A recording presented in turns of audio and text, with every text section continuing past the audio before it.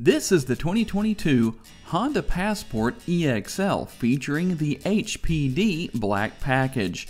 The starting price for the Passport is $38,370. This particular model comes in at $42,960 and I borrowed it from my friends at Holmes Honda in Shreveport, Louisiana.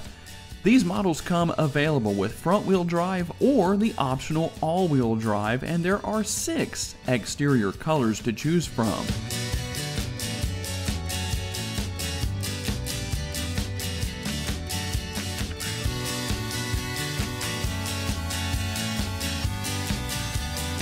In addition to three wheel options, there are 32 accessories to choose from.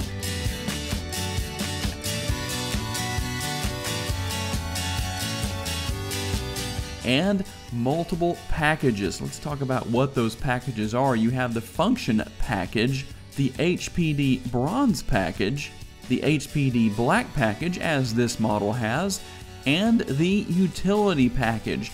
If you want to see full package details for each package, check out the description of this video after you have finished watching.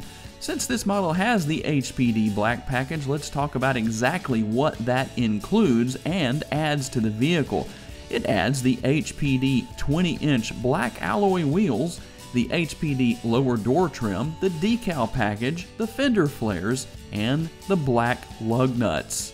There are two tire sizes available depending on which rim size you have. If you opt for the 18 inch rims, you will find 245 60 size tires, or as is the case here with the 20 inch rims, the 265 45 tires. Under the hood is the 3.5 liter V6.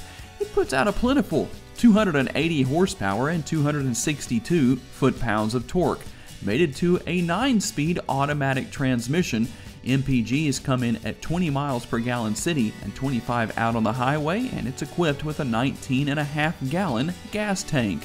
Cargo capacity is also plentiful, ranging between 50.5 cubic feet up to a maximized 100.8 with the seat area lowered, which is very easy to do as you can see on your screen. You can either use the buttons in the rear cargo area or you can use the latches on the side of the seats themselves. And interior space is comfortable with quite a few nice little storage areas for multiple sized items.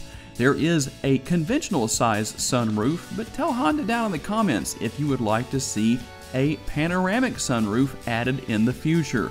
As far as the technology goes, it is useful and also easy to learn for those of you who have not had a vehicle with the type of technology that you will find on the 2022 Passport, so don't be afraid of it. It's easy to learn. You won't have a problem, and you'll be glad you did once you have done so. For those of you who are used to it, you will find Apple CarPlay and Android Auto, all of the typical features and functionality here that people like. You will find the push button shifter here, and I'm always curious to know are you a fan of the push button shifter? Tell me why or why not. And again, more space here within the center console.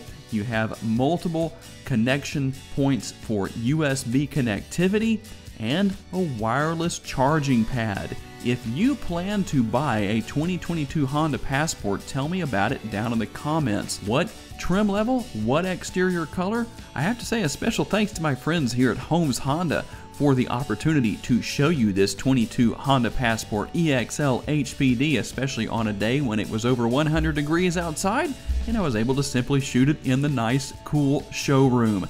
And obviously, a special thanks to all of you for being kind enough to give me the opportunity to give you a vision for your next vehicle. If you enjoyed this video, make sure to check out another of the videos that's on the screen right now, and I will see you there.